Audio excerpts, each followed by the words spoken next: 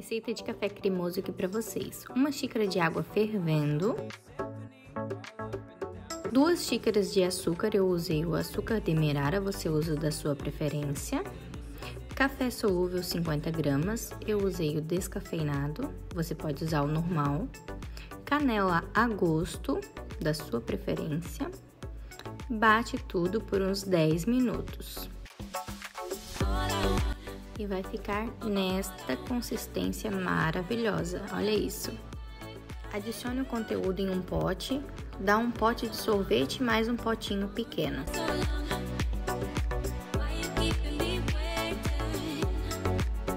Na hora de preparar para você tomar, esquente o leite e coloque uma colher de sopa bem cheinha. É só mexer e saborear. Olha só essa espuma que vai ficando.